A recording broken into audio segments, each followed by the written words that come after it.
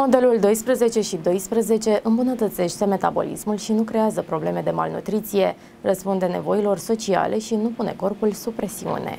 Postul intermitent este la mare modă. Unii adoptă varianta hard, cu două zile de post total într-o săptămână, dar există și unul blând, fără sacrificii și fără să sar peste niciun prânz. Postul 12 cu 12 nu obligă la abstinență forțată sau la respectări nesăbuite, doar prelungește postul natural nocturn cu câteva ore. El spune să nu cinezi târziu și să eviți să mănânci de îndată ce te trezești. De exemplu, ultima masă se termină la ora 21 și stomacul se ține gol timp de 12 ore ore. Amânând micul dejun până la ora 9, multe studii promovează acest model 12 cu 12, deoarece poate îmbunătăți metabolismul și în general nu provoacă probleme, spun specialiștii. Există și un avantaj social. Cinele cu prietenii sunt protejate. Pe de altă parte, dietele în care se ia cina, dar nu se mănâncă niciodată în timpul zilei, riscă să aibă repercursiuni asupra echilibrului hormonal. Medicii arată că pentru o fată sau femeie aflată la vârstă fertilă, săritul peste mesele din timpul zilei zilei mai mult de o lună poate chiar inhiba menstruația. În postul de 12 cu 12, micul dejun este doar amânat, iar prânzul este obișnuit. Nu sunt încurajate dietele nebunești. Pericolul abstinenței necugetate de la alimente este malnutriția. În perioadele de foamete, organismul poate extrage energie din adipocite, dar are nevoie și de alți nutrienți, de la vitamine la acizi grași, pentru care nu există stocuri. Acesta este unul dintre motivele pentru care postul nu trebuie urmat de